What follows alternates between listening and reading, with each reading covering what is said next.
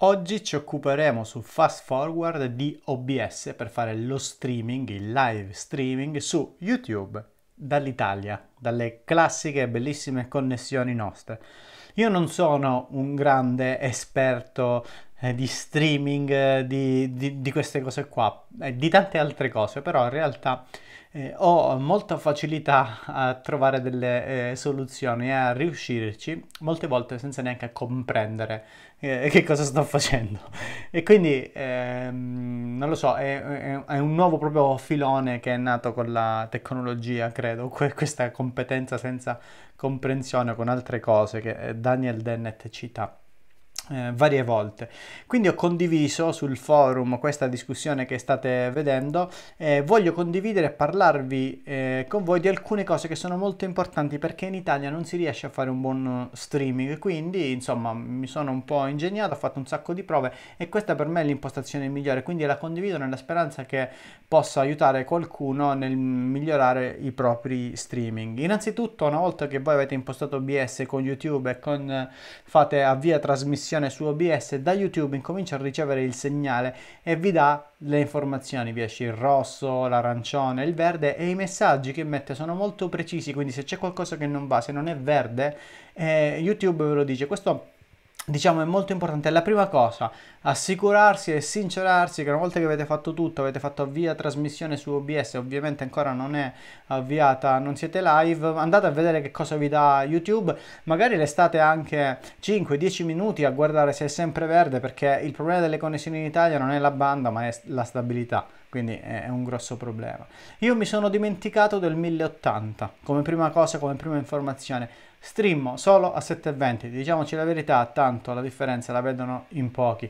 Sì, dipende che live fate ovviamente, per le live che faccio io non si nota questa grande differenza, quindi io mi sono dimenticato del 1080, faccio 720, non supero mai i 4000 di bitrate e il keyframe che uso è 2, ma ora lo vediamo. Allora, nelle impostazioni video uso questi valori qua.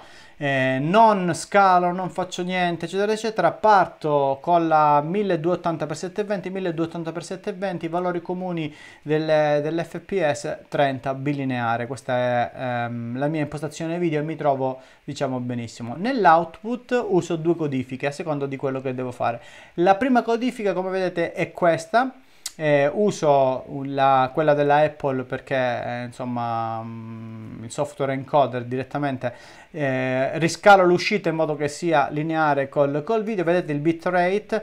E uso qui duello questa cosa del 2 dell'1 dello 0 non ve la so spiegare tecnicamente la spiegano bene nei forum americani um, se c'è qualcuno più bravo di me perché questo è il bello di internet. Eh, il fatto che ci sono i commenti e se le persone condividessero la propria conoscenza chiunque eh, potrebbe creare un articolo e la somma della conoscenza dei commenti supererebbe di gran lunga eh, quella di quello che sta producendo il contenuto e, la bellezza della condivisione della conoscenza.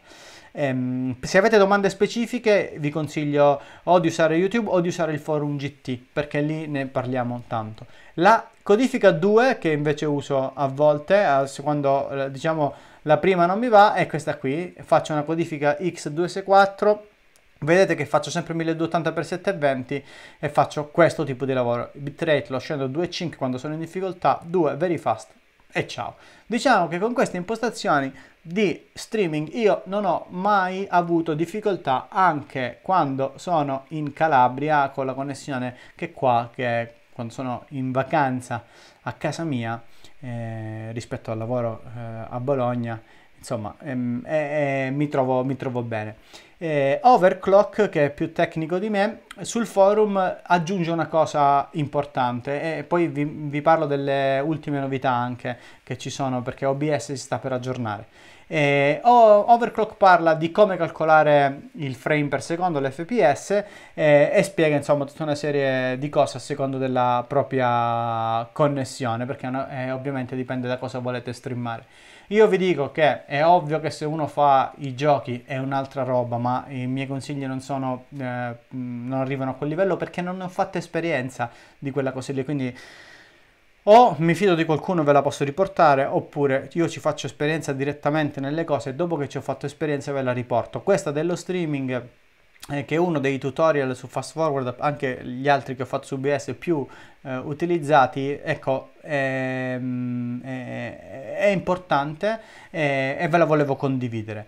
Se avete difficoltà c'è anche questa discussione specifica, ecco qua, e poi ci sono le ultime novità, Overclock mi ha risposto, eh, che OBS sta per rilasciare la 24.0, me l'ha segnata Francesco Almasio, molto interessante perché parla del bitrate. Se ci il bitrate dinamico e mm, in sostanza, vedete qua, può andare a verificare in modo automatico com'è la vostra connessione e quindi di conseguenza eh, regolarsi. Molto molto interessante, finalmente questa è una delle opzioni secondo me su OBS per chi fa streaming più interessante, hanno messo la possibilità di fare pausa nelle registrazioni, insomma delle cose un po' più belle, però eh, questo è eh, secondo me la, la cosa più interessante. Il bitrate dinamico, anche lui lo dice, anche Overclock Enea lo dice, è top, altrimenti dice Hangout.